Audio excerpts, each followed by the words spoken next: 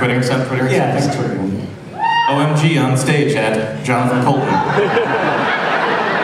Watching the Jonathan Coulton show right now. Meh.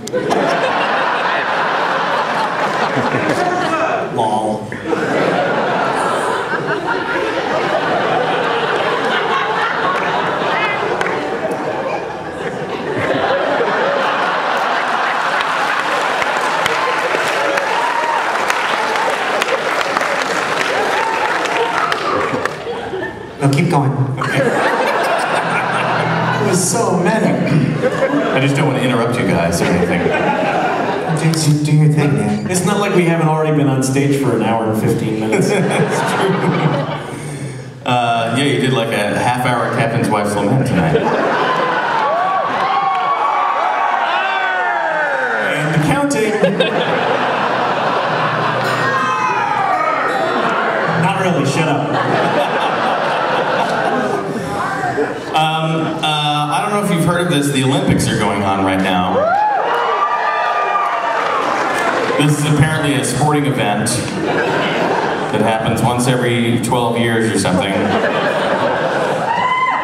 And uh, there are a lot of uh, sports involving snow and ice.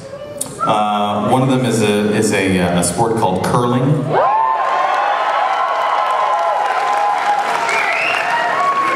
I have to say the U.S. team didn't do quite as well as I wish they had done when I had to sing this song in Canada. It was a little embarrassing, frankly. I was in Vancouver and I had to sing a song about how awesome the U.S. curling team was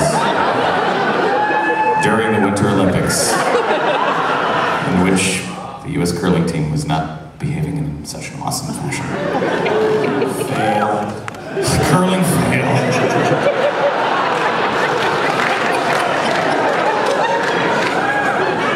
Just keep dropping the memes on it. Uh, but uh, I- you know, it doesn't like that random stranger in the audience continues to love me, no matter what I do wrong. I continue to love the curling team. I haven't met them. This random stranger hasn't met me, but still, there is a love that transcends any kind of suckage.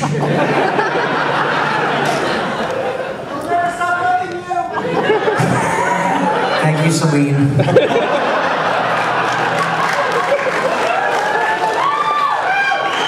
Um, and so, I would like to dedicate this song to the brave men, men and men and women. Different breed, those curlers. of the U.S. curling team. This is called Curl. Somewhere